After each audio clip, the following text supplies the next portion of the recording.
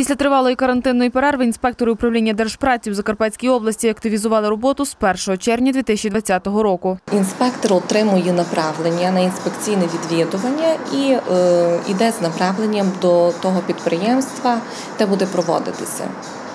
Коли е, він проведе там перевірку, то всі матеріали до нас надсилає або приношує сюди до нас, і ми вже матеріали маємо заношувати в нашу програму.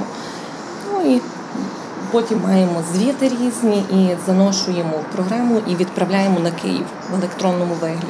Такий у нас процес. Вже є перші результати перевірок закарпатських роботодавців щодо дотримання трудового законодавства. Зокрема, виявлені порушення мова про заборгованість заробітної плати працівникам. Станом на сьогодні е, 4 мільйона 197 тисяч 800 гривень на е, 14 підприємствах е, області. Ну, заборгованість виплати заробітної плати ми перевіряли до оголошення карантину. Всі ці підприємства охоплені перевірками і вживаються відповідні заходи. Притягнення до адміністративної відповідальності роботодавців, відповідальних посадових осіб.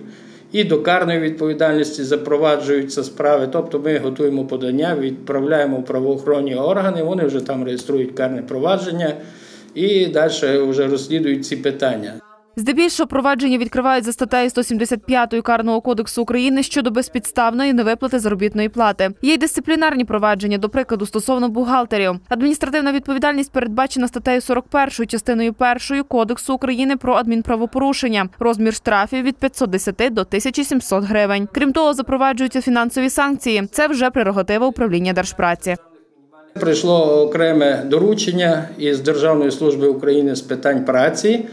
Е, Тобто протягом червня-липня місяця ми повинні охопити всі лікувальні заклади е, області. От із цих питань, оцих надбавок 300%, які повинні виплачуватися тим медикам, які е, борються з COVID-19. Процес інспектування медзакладів краю щодо виплати обіцяних 300% надбавки до зарплати медикам, які працюють з коронавірусними хворими, тільки почався. Результати перевірок будуть згодом.